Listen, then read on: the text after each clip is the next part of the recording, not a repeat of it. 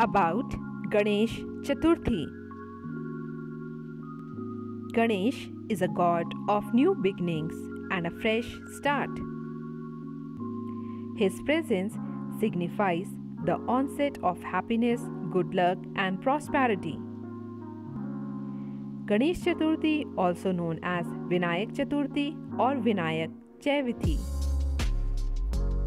It is celebrated annually to mark the birth of Lord Ganesha. This festival is considered as one of the most important festival of Hindus.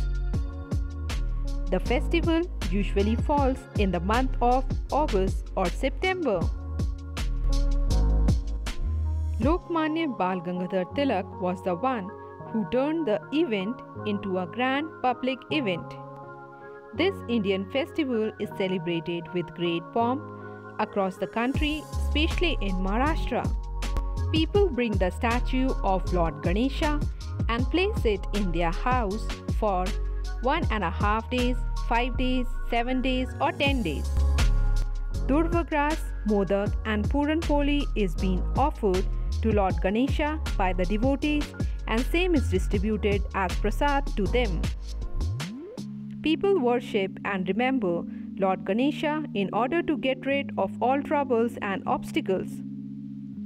On the 11th day, Ganesh Visarjan takes place. This ritual is meant to reunite Lord Ganesha with his parents, Lord Shiva and Goddess Parvati, and wait for his arrival next year. Hope you like the video. If you like the video, do like, share and subscribe to my channel to get more latest videos. Thanks for watching.